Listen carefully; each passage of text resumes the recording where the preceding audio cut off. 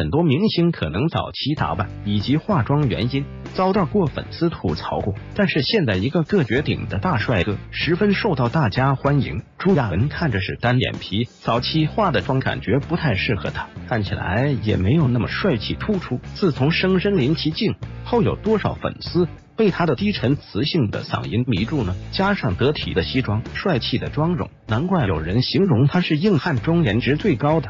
高颜值里最汉子的张鲁一，长着一张老成但又不失帅气的脸。实话说，早期他的打扮只有老气没有帅气。不过看过他的一些采访，就会知道张鲁一是一个由内而外的萌男。北大硕士毕业的他，从小就会小提琴、写书法，非常有文艺气质。喜欢他的粉丝表示，别人家的粉是始于颜值，而他是始于才华，然后沦陷在颜值中无法自拔。易烊千玺，我觉得是最无辜的一个艺人了。小时候没长开的时候，留着小孩子那样的西瓜头，一直被吐槽说拉低了团队的颜值。现在千玺长大了，非常的帅气沉稳，颜值好像开了挂一样。没有留胡须的白宇看上去下巴有点突出，眼睛小小的，感觉没那么帅气。自从镇魂之后，多少人被赵云澜这个角色圈粉了。痞帅痞帅的，简直勾人呐！